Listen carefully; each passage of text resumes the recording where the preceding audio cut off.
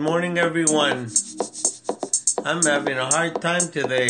I must have started this like about three, four, five times. Just can't get the right music. Just can't get the right sound for my podcast experience. I have an interesting poem for you today. Some could say it's on the creepy side. It sounds like I'm about to do myself in. Be assured I'm not. Everything is nice and healthy upstairs.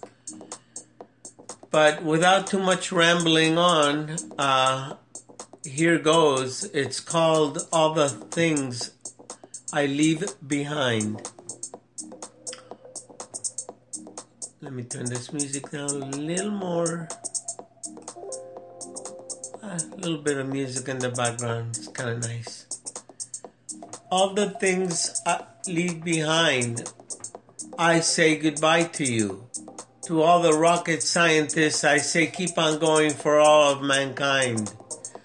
To all the authors that I have read, I wish to give you thanks ahead.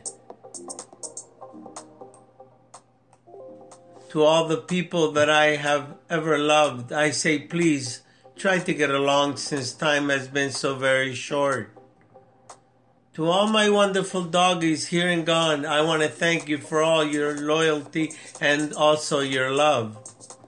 It was such a good time, like a dream, if I can say that. Some friends that I have that I will never see that were online I say keep it up and have some fun. Do get away from the screen once in a while and perhaps go for a walk. To the most famous singers of our time, thank you for the entertainment. I enjoyed it a lot. It made life just a bit easier. And to my father, so long ago gone, thank you for making me a true man. To my mom, thank you for nurturing me at one point, I no longer needed it.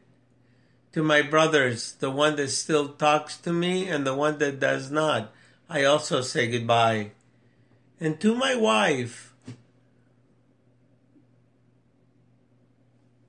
shucks, who stuck with me throughout my life with all of its ups and downs. Hey, you were the lucky one. That was one last joke, my dear, to make you smile from ear to ear. Try to enjoy what time you have left since mine is now coming to an end. Glad you liked it. Thank you. I liked it too. Well, if anything, it's been interesting, this poem. Like I always say, please Please be so kind as to reshare it.